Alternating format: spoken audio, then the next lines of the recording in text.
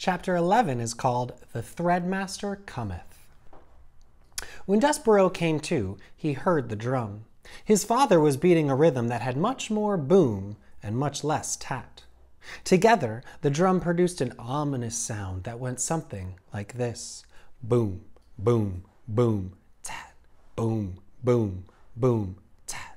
Make way for the thread, cried a mouse who was pushing a wooden spool of red thread through the crowd. Make way for the thread. Boom, boom, boom, tat went the drum. To the dungeon! shouted the mice. Despereaux lay on his back, blinking his eyes. How, he wondered, had things gone so terribly wrong?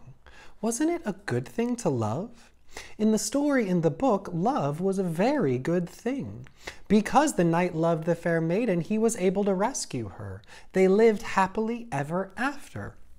It said so in the book.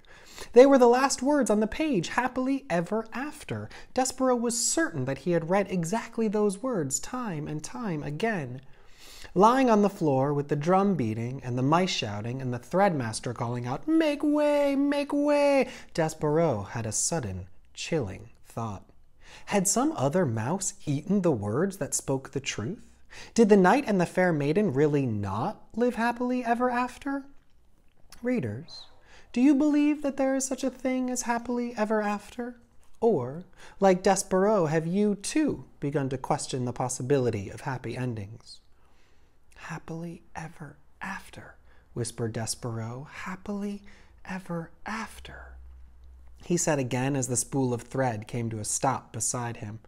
The thread, the thread, the thread, murmured the mice.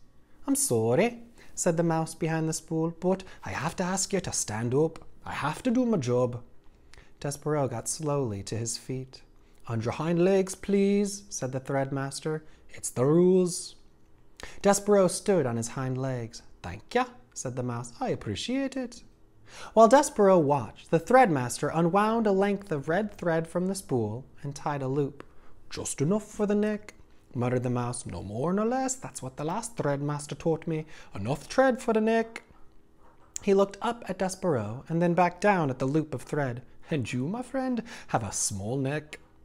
The threadmaster raised his arms and put them around Despereaux's neck. He leaned in close, and Despereaux smelled celery.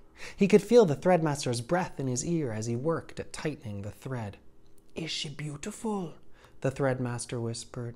What? said Despereaux. Shh! Is the princess beautiful? The Princess Pea? Yes. She is lovely beyond all imagining, said Despereaux. Just right, the threadmaster said. He drew back. He nodded his head. A lovely princess, just so like a fairy tale. And you love her as a knight loves a maiden. You love her with a courtly love, a love that is based on bravery and courtesy and honor and devotion. Just so. How do you know that? Despereaux said. How do you know about fairy tales? Shh! The mouse leaned in close, and Despereaux smelled celery again, green and alive. Be brave, friend, whispered the threadmaster. Be brave for the princess. And then he stepped back and turned and shouted, Fellow mice, the thread has been tied. The thread has been knotted. A roar of approval went up from the crowd.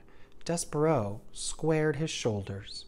He had made a decision he would do as the threadmaster had suggested. He would be brave for the princess. Even if, readers, could it be true? There was no such thing as happily ever after. And that's the end of the chapter. What was Despereaux beginning to doubt?